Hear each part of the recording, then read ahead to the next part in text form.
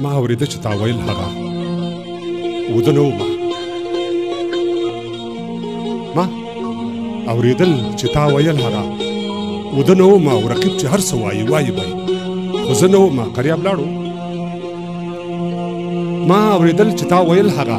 وده نه ومه او رقیب چې هر څه وایي وایي به خو زه نه ومه او تا نارې وکړې چې د شپې ناوخته ډزې وشوې زه لګېدلی وم په زغره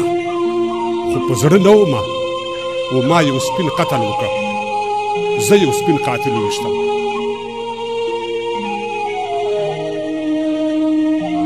هسې مې ګل کړو ما یو سپین قتل وکړ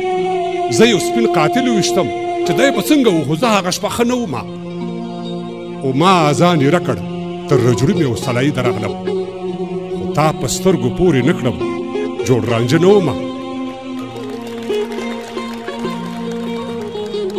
ما ځان یې رکړ تر رجړي مې وسلای درغلم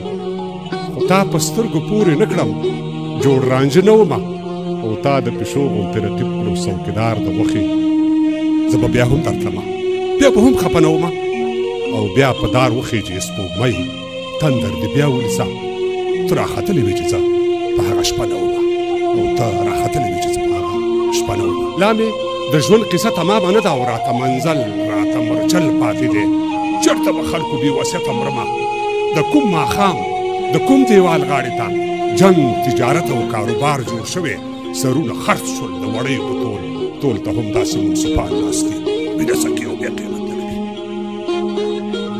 ټول ته همداسې منصفان ناست دي وینه څکي او بیا قیمت لګوي د کوم سیلاب مخې ته بند وتړم خټین کورونه یې رانه ټول یوړل ای د بې پښو او د بې لاسو کلیا ای د کوپړۍ او د ظلمو حاضرې دا ځمکه وشکوي راوځئ ترېنه راته پېغور ستا د وینو راکړو مدهوش د هورو په پالنګ راځئ راځم نه نه راځم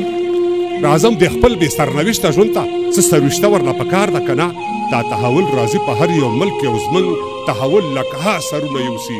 ای ګاونډیانو د الله په خاطر بس منګه پرېږدئ صلح مه راولئ علمبردارو د نړۍ په سطحه ډېر مو لوټلي یو د امن په نوم یو خوا د صلح امن چغې وهئ بل خو وسلې او مهمات را درومي هلته حقوق د بشریت غواړي نو بیا بشر په بشر ولې وژنئ بشر دوستانو قناعت غواړم څنګه ونه شوم څنګه ور وانخلم